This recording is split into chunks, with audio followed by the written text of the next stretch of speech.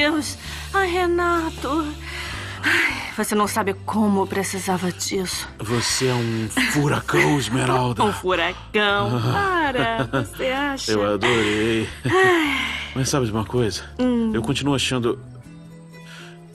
Eu fico preocupado em saber que o meu filho tá aí dentro. Ai, não, vai, para, para. Renato, a ginecologista já disse que não tem problema, tá?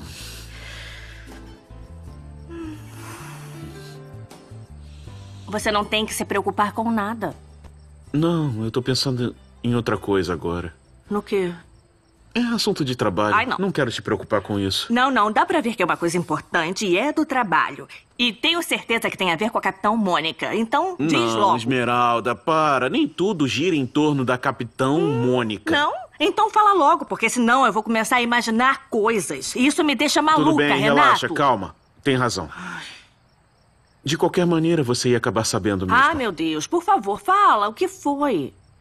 Faz alguns dias o José Luiz comentou que a Nádia Arguelles está em Água Azul. Espera aí, não, não, não, não, não, não. Como assim ela tá em Água Azul? Ela tá morta. Não. Ela e o Vitor sobreviveram ao acidente. e tiveram uma filha. Uma filha? Sim. Ai, meu Deus, eu não acredito. Eu não sei mas... todos os detalhes, mas o Pedro Medina está obrigando a Nádia e a menina a morarem com ele. Ai, meu Deus. E o Vitor está desesperado tentando recuperá-las. Mas é claro, coitadinho. E o Alessandro? O que aconteceu com ele? Os três sobreviveram.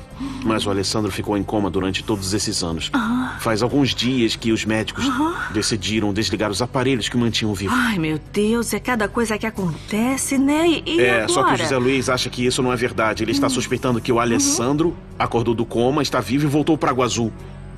E que voltou para recuperar a Montserrat. Mas é claro que sim, meu Deus do céu. E, e o que mais? Hoje a Montserrat esteve a ponto de abandonar o José. Ai, não. Mas se arrependeu no último momento e voltou para casa. Claro. De qualquer forma, o José está muito preocupado. Não, mas ele tem toda a razão. E, e você tá achando que a Montserrat tá se encontrando às escondidas com o Alessandro? Eu não duvido. Olha, Esmeralda. O quê? A, a Montserrat é sua amiga. Aham. Por que você não procura ela e conversa e tenta descobrir se ela está se encontrando com o Alessandro? Eu tenho certeza de que para você ela vai contar. Não, não, não, não, não. Olha só, é que é pra, pra começar, tudo isso que você tá me dizendo é muita informação. E depois, como você quer que eu pergunte pra Montserrat se ela tá se encontrando com o Alessandro? Isso é traição, Renato. Esmeralda, José Luiz é nosso amigo. Ah, Devemos ser leais. Ele.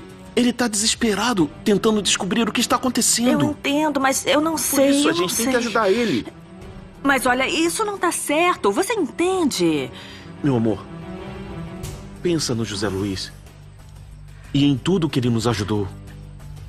Eu vou pensar, tá? Hum.